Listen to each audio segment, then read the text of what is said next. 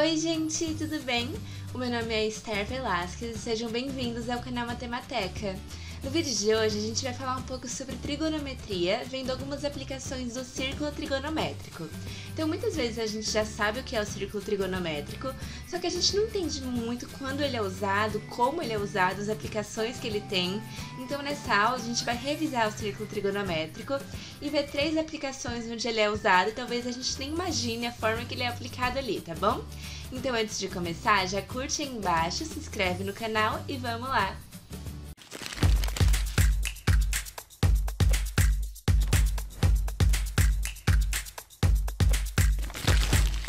Bom, gente, vamos começar revisando o que é um círculo trigonométrico. Então, para começar, a gente tem que desenhar uma circunferência normal de raio 1, ou seja, a distância do centro até aqui vale 1. Então, uma circunferência de raio unitário, né? Aqui vale 1, 1, 1.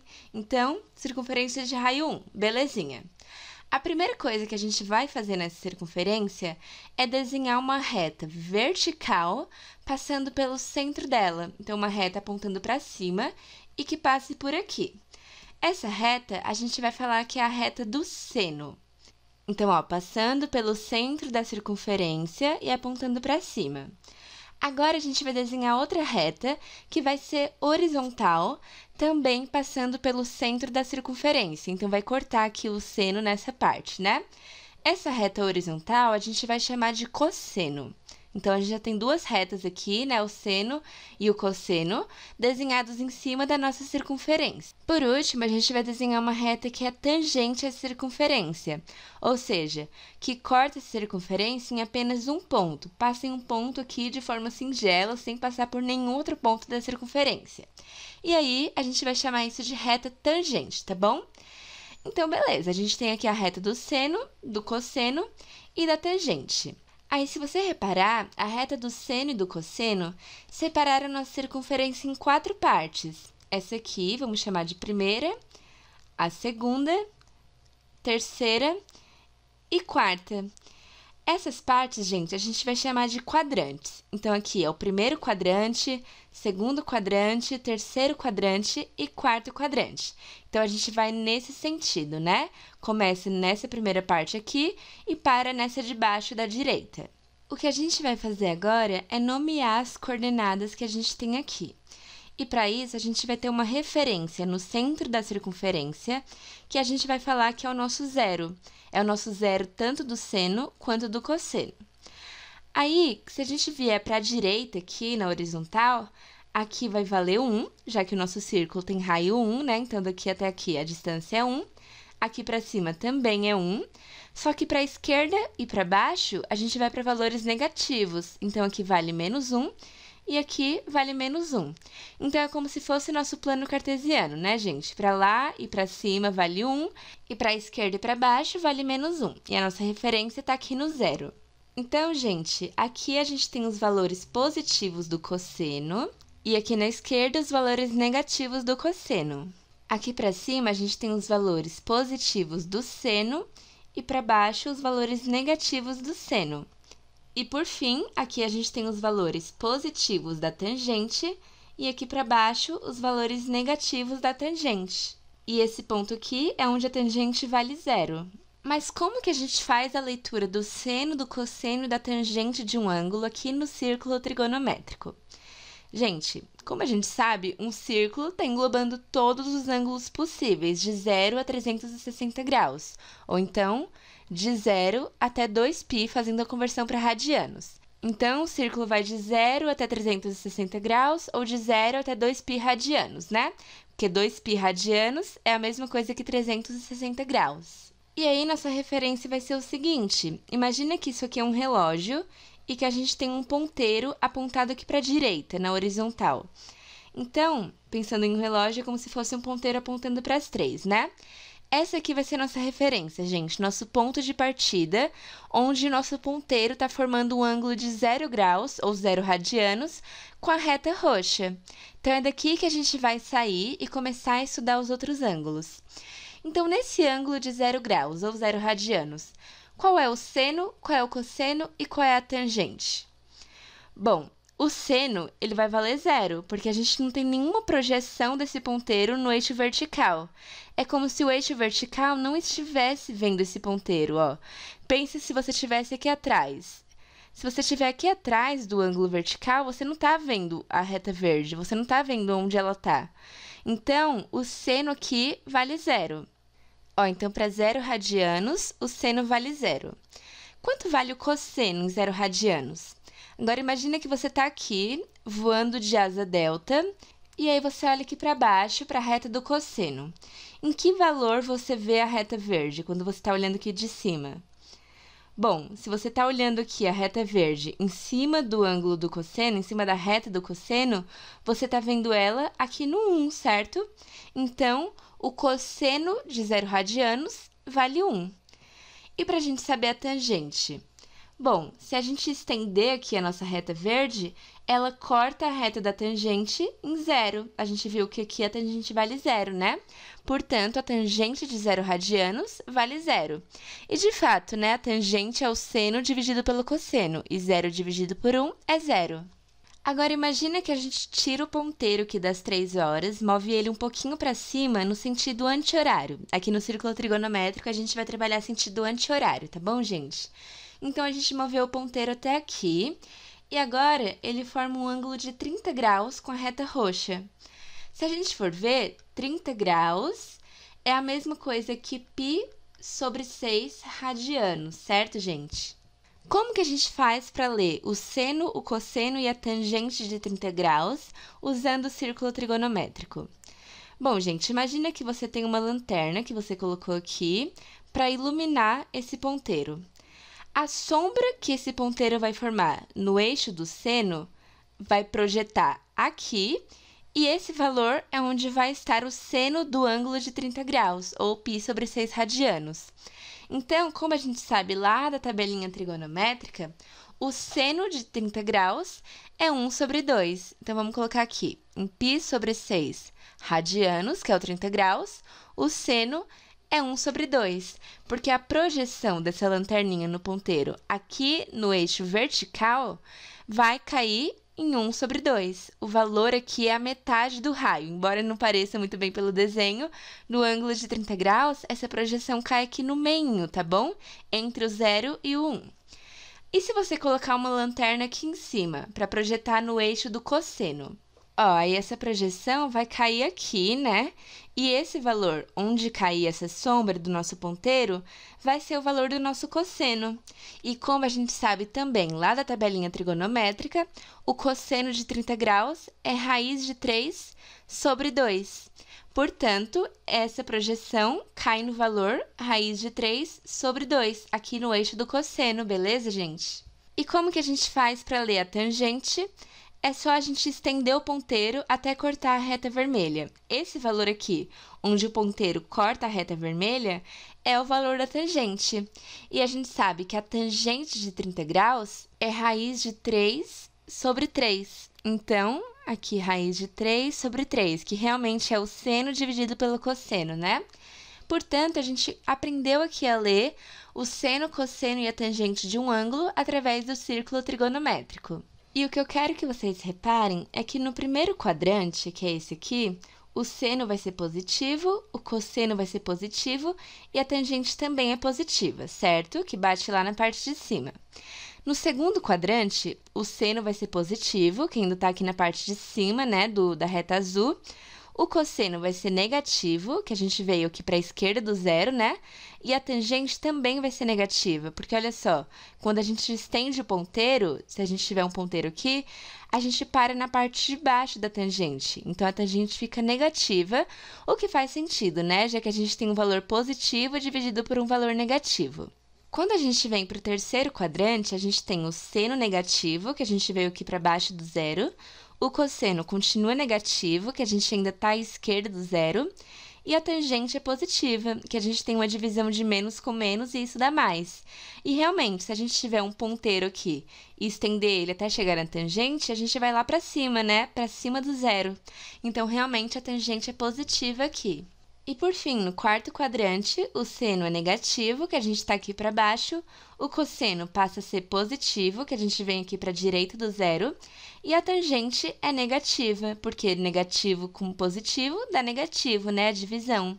E se a gente tiver um ponteiro aqui e estender ele até chegar na tangente, dá um valor abaixo do zero. Então, a tangente no quarto quadrante é negativa. Gente, então eu trouxe esse círculo trigonométrico interativo, que eu vou deixar o link aí na descrição do vídeo para vocês acessarem se tiver curiosidade, porque tem mais algumas curiosidades que eu quero mostrar para vocês sobre o círculo trigonométrico antes de a gente ver as aplicações propriamente ditas, tá bom? Então, gente, ó, a gente está aqui no ponto de partida, quando o ponteiro está apontando para a direita aqui, horizontal, né? E aí, a gente vai começando a mover esse ponteiro no sentido anti-horário. Conforme a gente vai movendo, o nosso cosseno vai diminuindo, ó. O nosso cosseno começou em 1 e quando a gente vai movendo, ele vai ficando menor, certo? Porque a gente já estava no maior valor possível de cosseno. Enquanto isso, o nosso seno vai aumentando, ó. Quando a gente vai aumentando o ângulo, o seno vai ficando cada vez maior. O seno começou em zero aqui, né, se a gente for ver, e quando a gente vai aumentando, vai ficando maior e maior e maior. O que é de se esperar, né? Já que no eixo do cosseno a gente está indo para a esquerda para valores menores e no do seno a gente está indo para cima para valores maiores. Aí o que acontece quando a gente chega aqui, no ângulo reto de 90 graus com o eixo horizontal? Gente, nesse ponto, o seno tem o seu maior valor, que é o valor de 1, já que o seno varia de menos 1 até 1, né? Assim como o cosseno. Enquanto isso, o cosseno está valendo zero.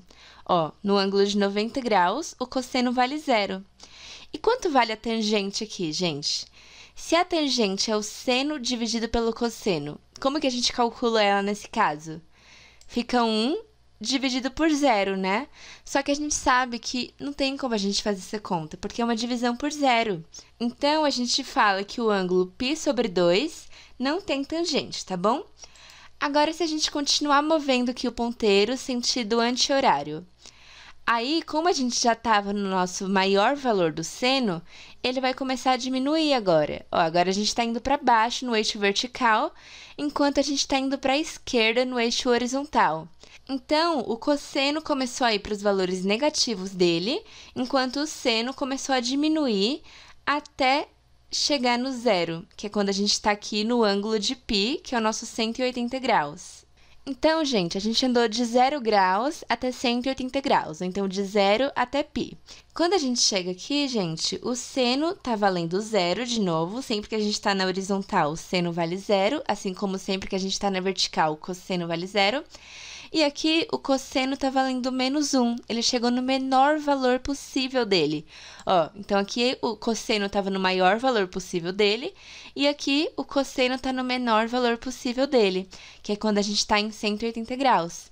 E a tangente aqui, a tangente está valendo zero também, que a gente tem zero sobre menos 1, que é zero, né? Então, a tangente vale zero. Agora, se a gente continuar movendo no sentido anti-horário até chegar novamente aqui no eixo vertical, a gente vai ter o ângulo de 270 graus, que é o que a gente chama de 3π sobre 2. Aqui está 4,7, que é o 3π sobre 2, né? Quando a gente chega nesse ângulo de 270 graus, o nosso cosseno vale zero, porque a gente não tem projeção aqui no eixo horizontal, né? E o nosso seno está no menor valor possível dele, que é o menos 1. Então, a tangente aqui vai valer menos 1 sobre zero, que é aquilo que a gente falou, né? Como é divisão por zero, a gente também não vai ter tangente aqui. Então, tanto no π sobre 2, que é o 90 graus, quanto no 3π sobre 2, que é o 270 graus, a gente não vai ter uma tangente, beleza, gente? Então, aqui o seno está no menor valor possível e o cosseno está valendo zero. Agora, se a gente continuar andando aqui sentido anti-horário, a gente vai chegar no 2π, que é o 360 graus. A gente deu uma volta completa na circunferência e paramos naquilo que é equivalente ao zero graus. Lembra quando a gente estava em zero graus? Exatamente a mesma coisa. O seno vale zero, o cosseno vale 1 e a tangente vale zero.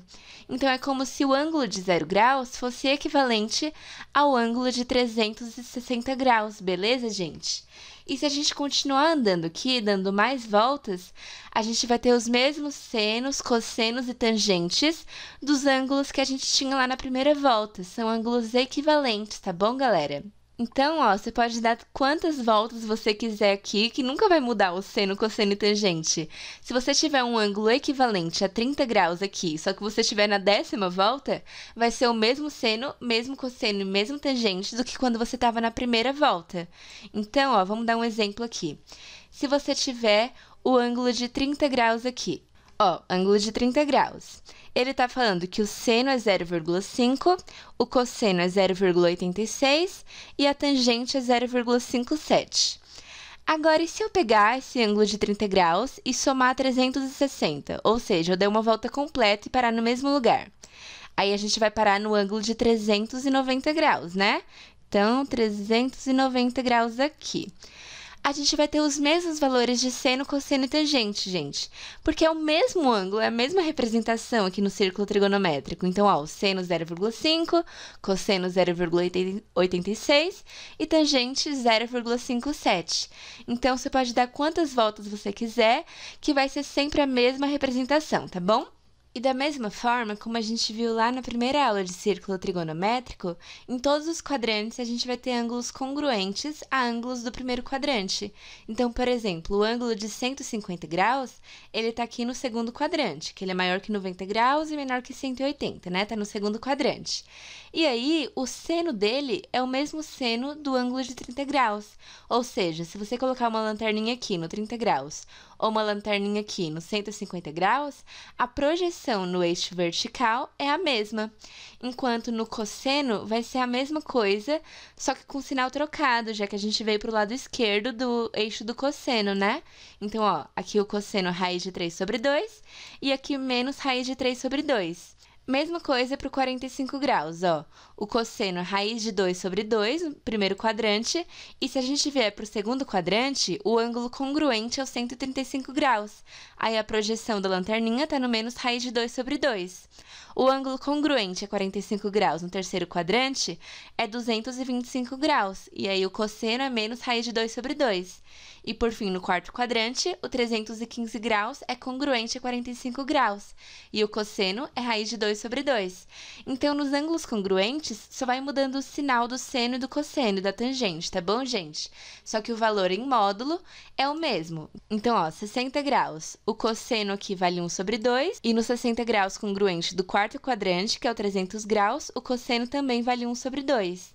Agora, nos 60 graus congruente do segundo quadrante, que é o 120 graus, o cosseno vale menos 1 sobre 2. E aqui, também menos 1 sobre 2, já que no segundo e no terceiro quadrante o cosseno é negativo, certo? Gente, agora pensa aqui comigo. Se a gente está aqui movendo os ângulos e tal, essa reta verde está representando o seno do ângulo que a gente está movendo, né? Porque é a projeção do ângulo aqui no eixo dos senos, o eixo vertical, enquanto o azul está representando o cosseno, certo? Que está no eixo horizontal, é a projeção desse ângulo com uma lanterninha aqui, vista no eixo horizontal. Beleza, verde é o seno, azul é o cosseno. Agora, vamos imaginar que isso aqui, a reta preta, azul e a verde, estão formando um triângulo retângulo certo? Porque aqui é um ângulo de 90 graus que a azul está formando com a verde. Então, isso aqui, de fato, é um triângulo retângulo. Então, a primeira coisa que a gente já consegue reparar aqui, pelo círculo trigonométrico, é que realmente são válidas aquelas relações que a gente viu sobre o triângulo retângulo, do seno, cosseno e tangente. Então, lembre que o seno era o cateto oposto sobre hipotenusa, o cosseno é o cateto adjacente sobre hipotenusa e a tangente é o cateto oposto sobre o cateto adjacente. Então, vamos imaginar que a gente tem esse ângulo aqui no nosso círculo trigonométrico e a gente quer calcular o seno dele. O seno é o cateto oposto sobre hipotenusa. O cateto oposto aqui, no caso, é o verde, o valor de y, e a hipotenusa vale 1, que é o raio do nosso círculo. O valor de y aqui é 1 sobre 2, e a hipotenusa é 1. Então, o seno vai ser 1 sobre 2 dividido por 1, que dá 1 sobre 2, que realmente é o seno de 30 graus. E o cosseno vai ser o cateto adjacente, que é o azul, sobre hipotenusa. Então, raiz de 3 sobre 2, dividido por 1, que é o próprio raiz de 3 sobre 2. Então, aqui fica comprovado as relações trigonométricas de triângulo retângulo. Como a nossa hipotenusa, nesse caso, vale 1, o seno sempre vai ser o próprio valor do y e o cosseno sempre vai ser o próprio valor do x, enquanto a tangente é o cateto oposto sobre o cateto adjacente. Então, é y sobre x, certo? Que dá o próprio seno dividido pelo cosseno. E a gente sabe que realmente a tangente é a divisão do seno pelo cosseno, então fica comprovado. Gente, agora vamos ver a primeira aplicação que é mega importante do círculo trigonométrico, que é a relação do círculo trigonométrico com as funções trigonométricas. Então, aqui a gente tem a função seno, que a gente conhece, né? E a gente vai ver qual é a relação dos ângulos aqui no círculo trigonométrico com os ângulos que a gente trabalha aqui na função, tá bom? Então, olha só, aqui a gente está em zero radianos, e a gente sabe que em zero radianos o seno vale zero, né? Agora, conforme a gente vai aumentando aqui no primeiro quadrante, a gente viu que o seno também vai aumentando. E é exatamente o que está acontecendo ali na nossa função, ó. Conforme o ângulo vai aumentando, que é o eixo horizontal aqui da nossa função, aí o nosso seno também vai crescendo, até chegar em π sobre 2, que é quando a gente tem ali o nosso maior valor do seno. Pode ver aqui que é o pico da nossa função, né? E é o pico aqui no nosso círculo trigonométrico também. Então, aqui é onde nosso seno chega em 1. Agora, quando a gente vai para valores maiores que π sobre 2, o nosso seno vai diminuindo até ele chegar em π, que é o 180 graus, e passa a valer zero. E realmente, né, é onde ele corta aqui o eixo horizontal, é onde o seno está valendo zero. Então, realmente, quando a gente chega em π radianos aqui no círculo trigonométrico, o seno está valendo zero, e aí a gente está cortando o eixo horizontal aqui na função seno. Agora, quando a gente vai entre π e 3π sobre 2, o nosso seno vai decrescendo até chegar no menor valor dele, ó. Decrescendo, decrescendo, decrescendo. E aí, logicamente, o mesmo vai acontecer aqui na função seno, ó. Vai decrescendo, decrescendo, decrescendo até chegar no menor valor dele, que é o menos 1. Então, quando a gente está em 3π sobre 2 radianos, que é o nosso 270 graus, o nosso seno vale menos 1. Ele chega no menor valor dele aqui da nossa função e o menor valor dele aqui do círculo trigonométrico. E aí, entre 3π sobre 2 e 2π, o nosso seno vai crescer, crescer, crescer, até chegar no zero de novo. Ou seja, quando a gente dá uma volta completa no nosso círculo trigonométrico, o seno volta para o zero, certo, gente? E aí o mesmo vai começar a acontecer de novo, ó. Cresce, decresce até o zero, vai até o menos um, volta para o zero. E isso vai acontecer infinitamente, gente. Então, a gente fala que o seno é uma função periódica com um período 2π. A cada 2π, o ciclo vai se repetir, ó. Chegou no 2π, repete. Chegou no 4π, que é duas vezes 2π, né? Repete de novo. E se a gente for sentido contrário aqui do círculo trigonométrico, ó, só vai para os ângulos negativos. Menos π sobre 2, menos π, menos 3π sobre 2, menos 2π. Aí repete de novo, tá bom? Então, o seno é uma função periódica, período 2π, e a gente comprovou aqui o comportamento da função seno de acordo com o círculo trigonométrico. Agora, vamos ver isso para o cosseno. Gente, você já deve ter reparado que a diferença entre a função seno e a função cosseno é que enquanto o seno começa aqui no zero, o cosseno já começa aqui no 1, né? Quando o ângulo vale zero, ele já está aqui no 1, já está aqui em cima. E, de fato, a gente comprovou isso pelo círculo trigonométrico. Quando a gente está em zero radianos, o cosseno já está valendo 1. Aí, quando a gente começa a aumentar o nosso ângulo, o cosseno vai diminuindo. E olha só ali no gráfico, realmente, quando a gente vai chegando perto de π sobre 2, o cosseno vai se aproximando de zero. E aí, quando a gente chega de fato aqui no π sobre 2, o cosseno vale zero. A gente comprova isso pelo círculo trigonométrico e pela função cosseno. Agora, se a gente for lá para o π, que é quando a gente dá meia volta no nosso círculo, aí o nosso cosseno chega no menor valor dele, que é o menos 1. Então, ó, quando ele deu essa meia volta aqui, ele foi do maior ao menor valor. Ele teve essa queda aqui até chegar no menos 1. Mas, se a gente continuar andando, ele volta a subir, ele retorna a caminhada dele até chegar no zero, que é no ângulo de 3π sobre 2. Então, quando a gente chega em 3π sobre 2, que é quando o seno estava no menor valor dele, o cosseno está aqui no zero já. E aí, se a gente continuar andando até dar a volta completa de 2π, o cosseno volta ao maior valor dele, ele volta ao pico aqui da função.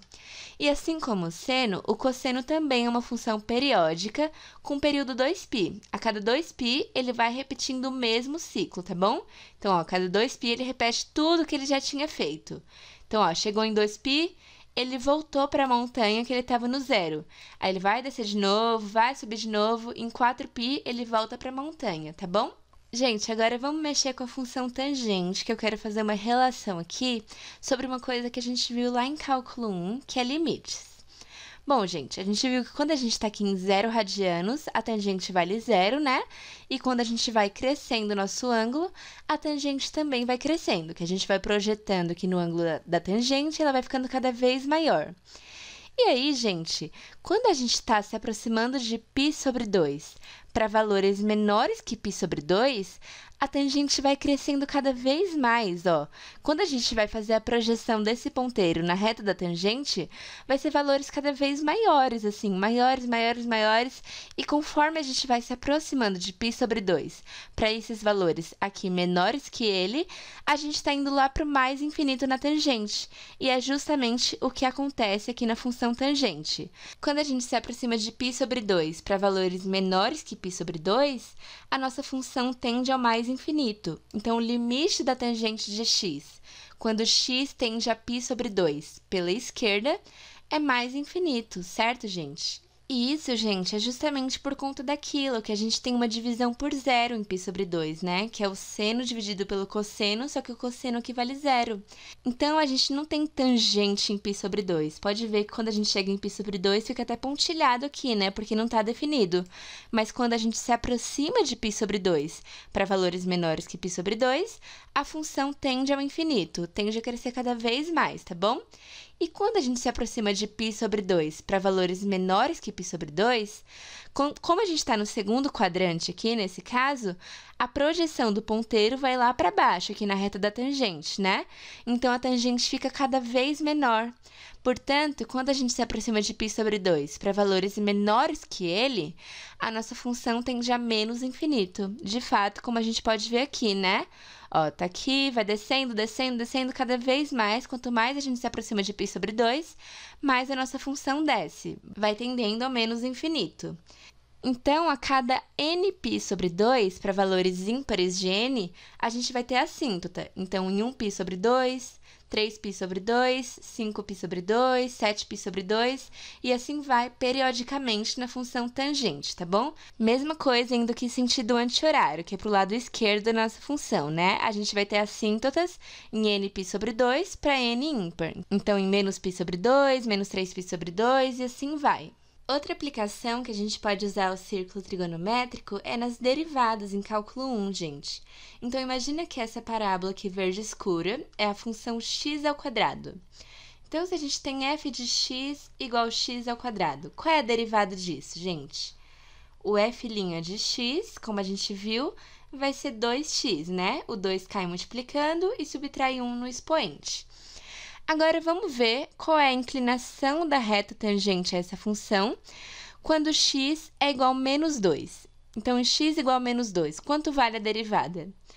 Bom, o f' de menos 2 vai ser duas vezes menos 2, que dá menos 4.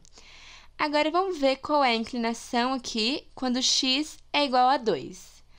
O f' de 2 vai ser 2 vezes 2, que é 4. Tá bom, algebricamente, a gente consegue perceber que uma deu negativa e a outra deu positiva. Mas como a gente interpreta isso visualmente falando? Qual a diferença entre a reta tangente que passa em x igual a 2 e que passa em x igual a menos 2? Gente, acontece que o ângulo dessa reta tangente aqui, que passa por x igual a 2, ele está no primeiro quadrante do círculo trigonométrico, enquanto o ângulo dessa aqui está no segundo quadrante. Então, se a gente for ver no círculo trigonométrico, quando o ângulo está no primeiro quadrante, a tangente é positiva. Quando o ângulo está no segundo quadrante, a tangente é negativa. Por isso que existe essa diferença de derivada positiva e negativa. E quando a derivada é positiva, a gente sabe que a gente tem uma função crescente, e é quando a gente está em uma reta tangente com um ângulo entre 0 e 90 graus. Enquanto, quando a função é decrescente, que é o caso aqui do lado esquerdo da nossa função, a reta tangente vai estar com um ângulo entre 90 e 180 graus, que é onde a nossa tangente é negativa, Portanto, nesse intervalo aqui, onde a função é decrescente, a nossa derivada é negativa, certo, gente? Então, tá aí mais uma aplicação de círculo trigonométrico que a gente usa e nem imaginava que vinha de lá, né? Nem imaginava que o círculo trigonométrico ajuda a entender aqui nas derivadas. Uma outra aplicação do círculo trigonométrico, que também é muito importante, assim, usa muita coisa, são os números complexos. Os números complexos são escritos nessa forma aqui, z igual a mais b vezes j, sendo que a é um número real, o b é um número real e o j ele é a raiz quadrada de menos 1. Então, a gente usa esses números complexos para representar números que possuem raiz quadrada negativa. Então, por exemplo, raiz quadrada de menos 4. Isso aqui é raiz quadrada de 4 vezes menos 1, que é raiz de 4 vezes raiz de menos 1, que é 2 vezes raiz de menos 1. Como esse raiz de menos 1 a gente chama de j, isso aqui é 2j.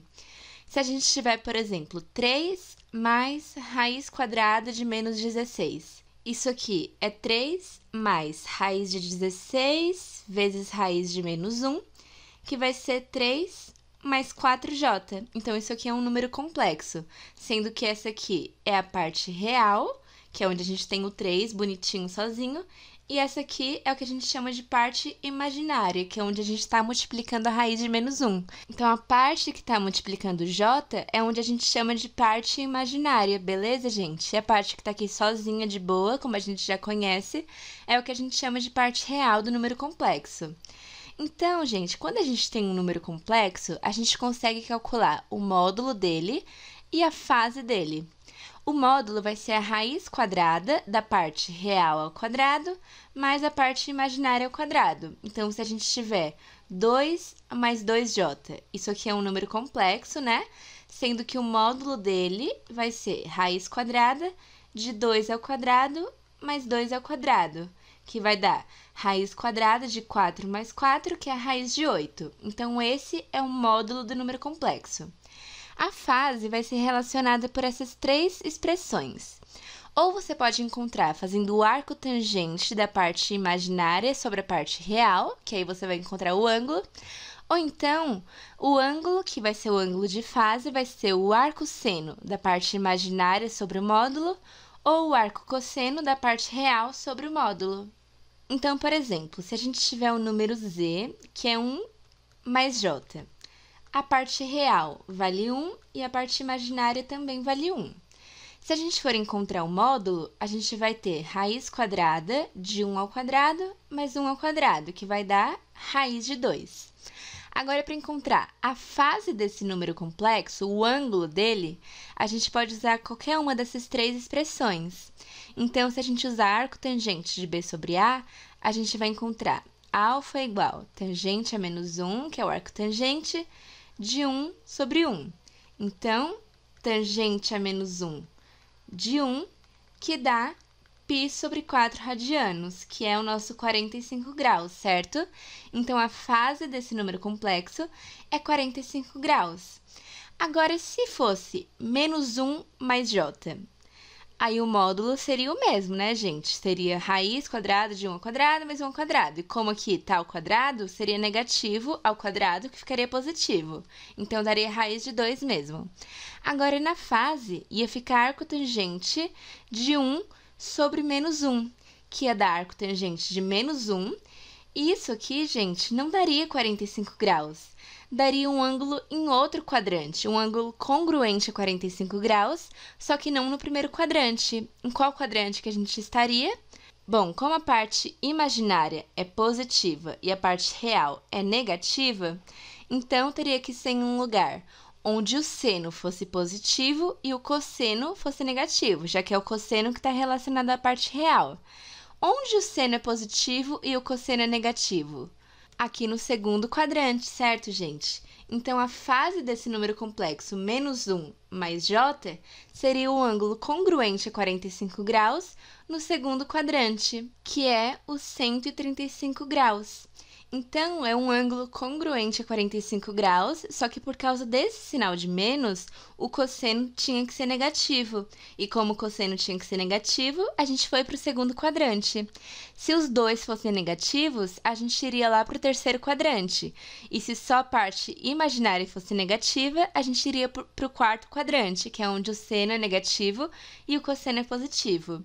Então, devido a essas três expressões que a gente tem para calcular a fase de um número complexo, a gente tem que ficar atento em qual quadrante que aquela fase vai estar. Então, vou até deixar o link aqui em cima da aula que a gente fala melhor sobre isso, a relação de círculo trigonométrico e números complexos, mas foi só para mostrar para vocês o quanto o círculo trigonométrico é útil até mesmo na hora de trabalhar com números complexos e representar eles no plano de Argand-Gauss. Então, se você ficou curioso, clica lá na aula que é muito interessante a gente ver sobre isso e tem muitas utilidades também, tá bom?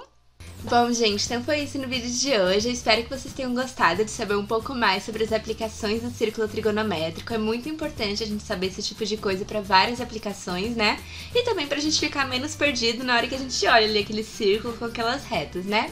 Então espero ter ajudado com esse vídeo. Bastante gente tinha vindo me perguntar sobre o círculo trigonométrico, pedindo para fazer outro vídeo, explicar melhor como funciona, as aplicações. E eu espero que tenha ajudado, tá bom? Então não esquece de curtir, se inscreve no canal, compartilha com seus amigos e segue o canal Matemateca lá no Instagram para ficar por dentro de tudo, tá bom? Então a gente se vê no próximo vídeo, gente. Beijo!